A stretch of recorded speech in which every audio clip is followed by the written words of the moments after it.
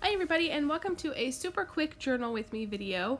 In this video I am just super quickly throwing down a couple of my new branding items from my new um, Etsy shop that I opened.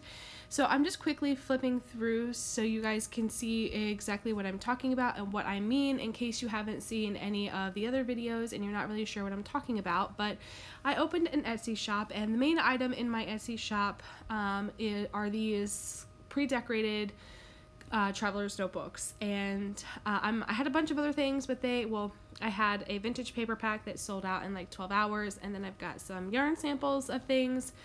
Um, but the main items that I'm going to be focusing on are these pre-decorated traveler's notebook eh, traveler's notebooks and this was my first one. So um, when you open a new business you have to have all the cool things to put on your packages and one of the items are these really pretty stickers that I got from Studio Esper and I will link her information down below. I'm pretty sure she's got an Instagram and an Etsy account, she contacted me through Instagram and um, that's how I got these stickers. And then I made these business cards that I just sent through Office Depot. They're really nothing special, but they're important and special to me because they've got my branding um, and my information on it.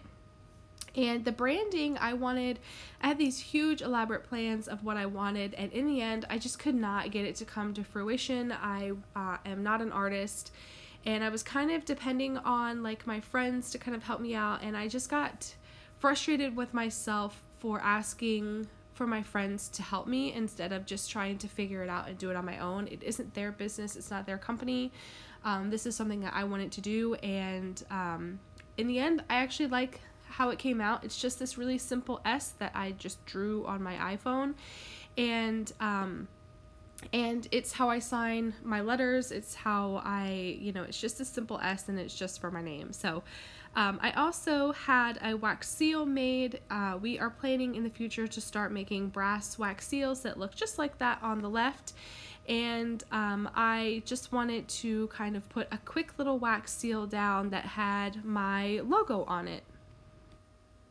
Sorry about that. Clara woke up and I had to go get her. So if you hear her desperately chewing on her pacifier, I apologize, but she is cutting two teeth at the moment and super angry.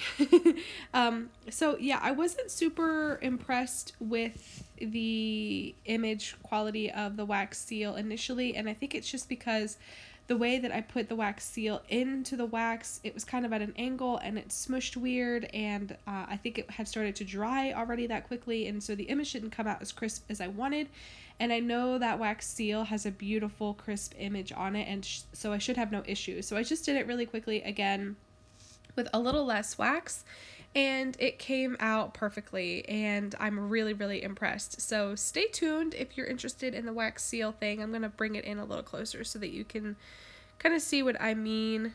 See how much more crisp the image on the bottom is and how weird the top one is. So uh, yeah, I just wanted to make sure that I had a pretty clear representation of what that wax seal image should look like just because it's my personal branding and I want it to look good. I wasn't seeking perfection, but I was seeking at least good. so, yeah. I don't really do much else to the page. I'm uh, just satisfied with that. I think I put a sticker down. Oh, I do this wax seal. This wax seal is actually not meant to be a wax seal. It was a letterpress block. Uh, it was a big, huge, heavy piece of um, lead and I asked my husband if he could turn it down at work. He works inside of a machine shop. He does other things, but where he works, the building that he has, he's got a bunch of machines that he can turn stuff down on. And so I gave him this big heavy block and I said, Can you take the corners off of this and make it round? And he did, and it came out beautifully. And I've used that wax seal on all of my packaging for all of the orders that I um, shipped out during my opening and I really love it. It's um, it's actually a postal related thing. It says no postage necessary if mailed within the United States, and it was meant to be something that they put on postcards and stuff. And I really love it, and so I wanted to kind of document that as well. That that was the seal that I used for all of my um, packages. So I'm going to try to salvage that wax that was on the misprint and then I use the wax seal to kind of press down this chunky little bit and I tear it off and I'm going to actually reuse that wax as well. I didn't like how fat it was and so I just used my fingernail and peel it off and it looks fine. It looks good. And I can reuse that wax. I can save it. So I'm just going to put it in my wax spoon and reuse it. So that is going to be it. I, oh no, that's right. I put down um, uh, a couple more stickers, but yeah, I just really want to thank everybody who has supported my shop and my opening, and it's just been a lot of fun. I've really enjoyed it. It's uh, given me a new sense of purpose inside of this community. I feel like I have a different role in the community. I'm not necessarily making things for other people. I'm doing things um, for you. I'm making things from my own heart to give back to my community, and that feels really good. I still do love working with other brands and collaborating, and I still will continue to do that in the future. I still love to do that. I think it's great to support our brands inside the community, but it just feels good to have my own little spot now.